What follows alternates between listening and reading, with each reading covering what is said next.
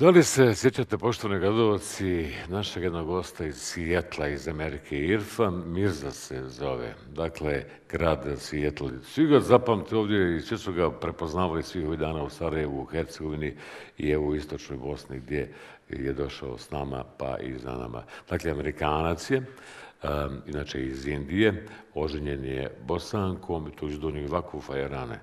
I um, to je onaj iz Microsofta, Microsofta što priča i što zna bosanski jezik, ali zna i svaku sekundu historije naše zemlje. Dakle, evo ga već je tri dana s nama u Goraždu. Izdao je knjigu na engleskom jeziku o našoj historiji, najkompletnija knjiga o našoj historiji, ali još više i o prahistoriji, pa još više pra prahistoriji. Dakle, ta knjiga upravo ovih mjeseci prevodi na bosanski jezik i bit će objavljena na jesen i bit će odmah već to najavljujemo ekskluzivno prava senzacija i izazvat će i kakve reakcije. Dakle, ono, odmah da znate da će to tako da bude. Naš Mirza sa našom lanom. Da, posebno čast je razgovarati sa gospodinom koji na svojevrstan način spaja prošlost i budućnost. Evo, inovacije u Microsoftu, s jedne strane na neki način pogled u budućnost, s druge strane imamo bavljenje historijom kao prošlost i danas ste rekli jako zanimljivu riječ koju često zaboravljamo i istakli važnost te riječi, a to je perspektiva. Pa čovjek koji se bavi prošlošću, budućnošću, nekako na najbolji način može da sagleda iz te svoje perspektive i spoja Indije, Bosne i Hercegovine, s druge strane Amerike, u Goraždu ste, za Goražde ste slali pomoć tokom rata, sad ste se vratili u Goražde, da Bosancima i Hercegovcima na neki način kažete da nisu repa bez korijena. To vas citiram. Da, da, hvala, hvala Senade, hvala Lana. Jeste, to je upravo. Slušaj, je rekao to, mi smo svu malo groblji, jel tako? Mi ćemo sve završiti na isti kuglu. Ova kugla je vrlo malo i, i neće moći znati kako će napredovati ako ne gledamo nazad. Ovo je što Senad je govorio prije, da ovaj grad ne bi trebalo opstane u vrijeme ovog zadnog rata. Ja ću vam reći jedna stvar. Ove ljudi ko su to, ko su to izmislili nisu znali historija ovog naroda ko su ovdje. Taj narod ide nazad, peti pomoć da šest hiljad godina nazad, ko su došli ovdje od taj periodu, na ovo mjesto se zove Zupčić, smo, oni su otkrili odavno jedno malo lutkica. Taj lutkica je bila poznata kao bogina luga. vi to znate već, ovo ljudi koji živi ovdje, možda ostali ne znaju. To je od neolitsko vrijeme taj, taj lutka je pronačna. U taj periodu ovaj, ljudi su obožavali žene. Žene su bili u vlastu, stvarno da vam reknem. Sada ih uopšte ne obožavalo. znači da je to možda, možda u roku, prije sedam i pol hiljad godina, stvarno žene su bili u vlastu tada i oni su rađali djece. Oni su, oni su krenuli, ljudi, da, da, da krene od, od nomadstvo dok, a, dok doseljenici. I ove su bili među prvi sele u, u Europu. I tako ste vi dobili riječ selo. Znači osobe, ljudi ko seline negdje na Lugi, bilo je neolitska selo, oko 70 kuće na površinu 30 duloma zemlje. Tamo su oni bavili poljoprivredu. Možda je to bilo jedan od prvi poljoprivredski radovi u Europu. Znači, žene su valja otkrijali poljoprivreda. Ovo je lutka što su našli, to je bila jedna kultura bogina, jedna vrsta bogina. Taj kultura, kad su Iliri došli ovdje nakon nekoliko hiljad godina, oni su nadimali ime. Taj kultura je tada bila pozvata Tana. I ovaj žena pogotovo bila Tana i Tana je krenula u vaš jezik da bude žena i onda žena. I vi znate sad odakle vam doće korijena riječ žena. A ta kultura je dalje išla kad su Kelti došli preko ovog regiju i oni su nadimali Dijana. A Dijana čim je išla do zapada Evropa, krenula malo svoga, više nije bila bogina nego bila bog i Bog je postojao u tamo Engleskoj i Irskoj, danas mi to zovemo druid.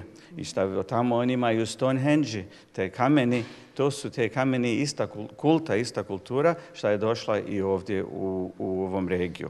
Znači, ovo su ljudi koji su odavno bili ovdje, oni su bili toliko čvrst i znali su, imali su svog stava. Kad car Simeon krenuo ovdje u srednjem vijeku iz Bulgarija i, tre, i tražio on put preko Drine da ide u Bosnu i Hercegovinu, odgodio ovog mjesto Goražde i dalje je išao još na jug uz Drine i onda tek je krenuo. Nije, imao dovoljno, kako bi rekao, možda hrabrosti ili mudrosti da krene vamo prema ovog naroda. To je ovog narod koji, su ovdje bili tada još uvijek su. Jel onda dolazimo do apsurda da smo u kolijevci Europe, kako kažete, a da nismo u Europi? A da ne znamo. A dobro, vi, ste, vi, vi znate, ovoga, četiri puta ste vi, bili su ovdje istraživački radove na genetskom ovoga, naukom. I ta je genetska nauka dokazala da Bosanci i Hercegovici su a, staro svjedoci Evropa. Tada, u taj period, poslije ledenog doba, bili su tri plemene.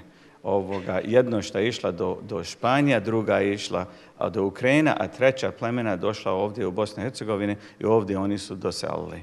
I taj plemena je, je os, osnovila ovoga, vaš, vi, vi ste potomci od, od taj plemene.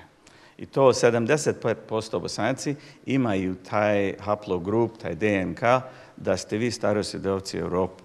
Vrlo važno pitanje za sada, vi ste govorili od istoriju, za sada, je li valja Europska unija bez europske starosjedoci? Da li ima to smisla? I treba to pitati. Ono što ste rekli kao neku poruku nama ovdje, rekli ste da smo narod koji je adaptibilan, ali da nam fali malo saradnje. Da smo inovativni, adaptibilni, ali da, nam, da smo zaboravili na saradnju.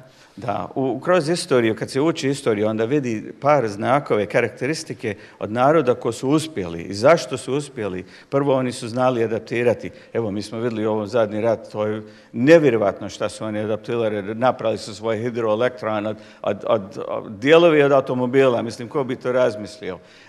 To su imali inovacije što su oni izmislili. I onda na kraj ovaj, radili su skupa ovog, mi smo čuli ovaj, kako ljudi imaju ljubav jedno prema drugog. Taj suradnja, to je najvažniji dio. I, i, i sad šta bude u Bosni i Hercegovini, možda možemo gledati u Goražde kao jedno mikrokozuma, a, a, a Bosna kao makrokozum. U tome ovoga, oni su, oni su prebacili neki, neki mržnje da bude, da bude ovaj, manipulirali ova suradnja, da ne bi ljudi više vjerovali jednog u drugome, da bi podijelili na plemene i na razne vrste homogenizirano naroda a, i, i, i ja mislim da to bi trebali sad popraviti malo.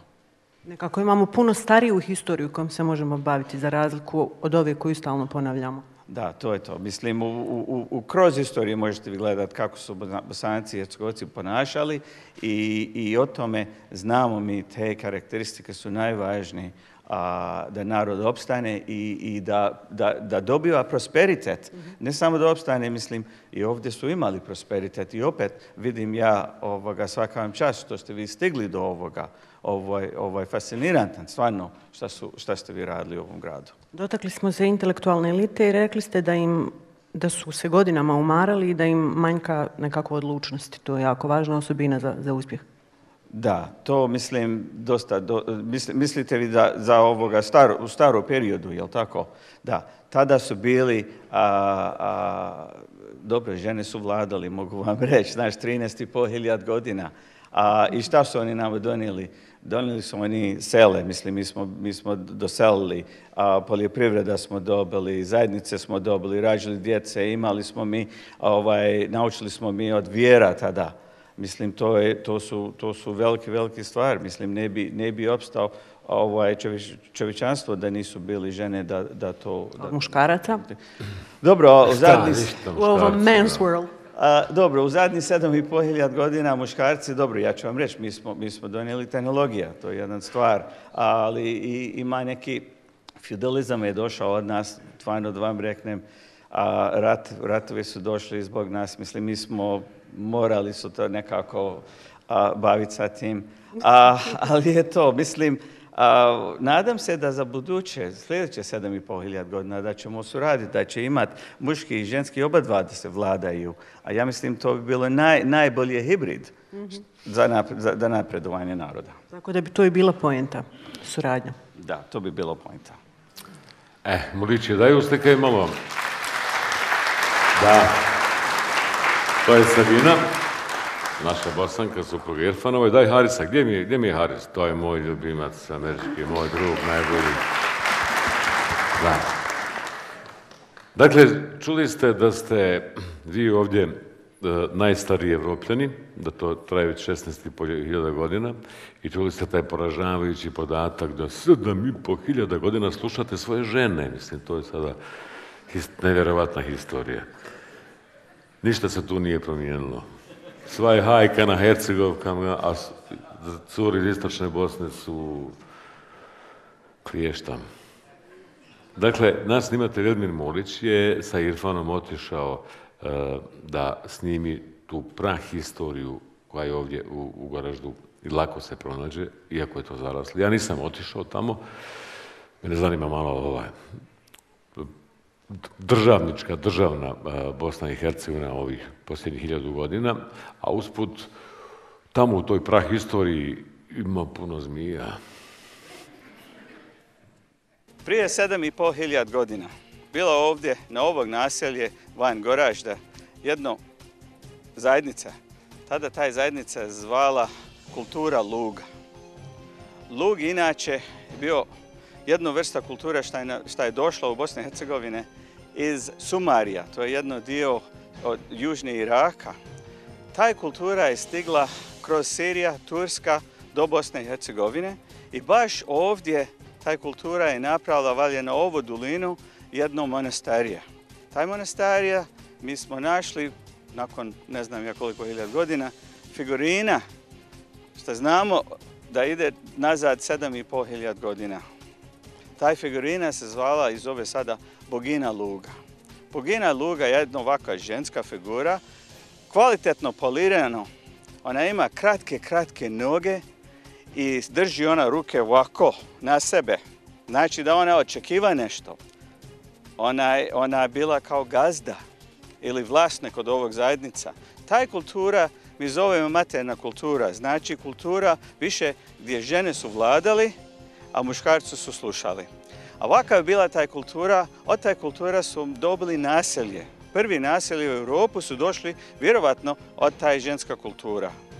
I šta još smo dobili? Kratke noge, znači da ova grupa, ove ljudi nisu hodali, oni su zaustavili. Prije toga su bili nomadi i došli baš na ovo lijepo, lijepo, prilijepo dolina i ovdje su oni doselili. To su bili među prvi sele u Evropu.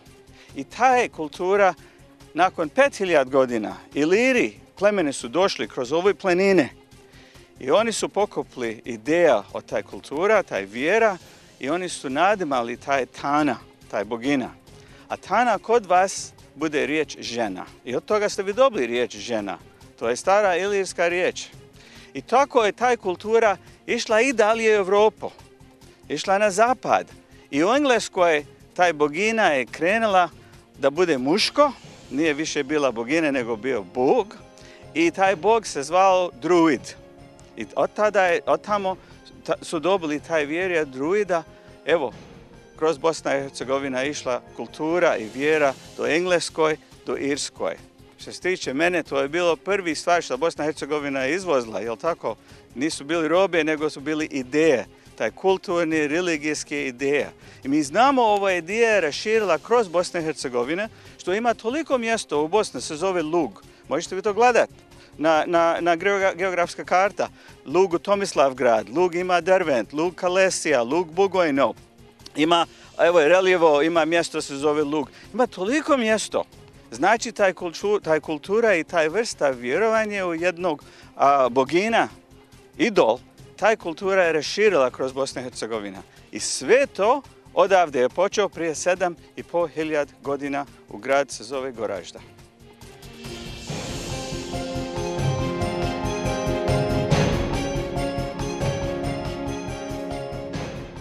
Oko 300 metara iza mene je rijeka Drina. Na ovom livadu je bio jedno staro selo u nijelitsko vrijeme To je prije šest i pomoć za sedam hiljad godina. Ljudi su došli ovdje i doselili su. Na ovom livadu možda 30 duluma zemlje oni su napravili kuće možda 70 ili 80 kuće i oni su ovdje napravili zajednica. U ovom zajednicu oni su živjeli godinama. I od čega su oni sebe hranili? Evo, od ovog zemlje. Ovo je jedna vrsta glina, ali ima u tome pjesak i kvalitetna, to se zove alluvial deposit. Znači, to su organički depoziti kroz životinje, kroz bilke, kroz trave i ova glina ima karakteristika da bi mogli držati, čuvati vodu dovoljno da naraste ovdje poljoprivreda. I tako je, oni su krenuli od nomada do doseljenici, od seljenici ko su lovili životinje i prešli su do poljoprivreda. Ovo je bio jedan najprvi mjesto u Europu gdje poljoprivreda je počela. Blizina rijeka Drina i ovog dolina ima idealno karakteristika da hrane čitav zajednica. Možda su bili oko 250-300 ljudi samo na ovom kvartu, na ovom dio. I tako su oni živjeli godinama ovdje. Na dolina Podrinja. Mjesto se zove Goražda.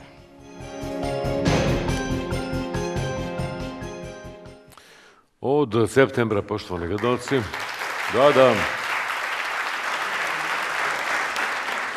šta on meni sve priča o Bosni, da vi znate, pričao mi je recimo, Niglana pitala vjerojatno zbog vremena, da mu jedan od um, astrofizičara, astrologa rekao, kad je saznao da ima veze sa Bosnom, naš Irfan Mirza, da je Goražda upravo mjesto, lokacija na planeti odakle, s koje se najbolje i najčistije vidi nebo. Je li tako, Irfane? Nevjerovatno. Mi o tome nema pojma.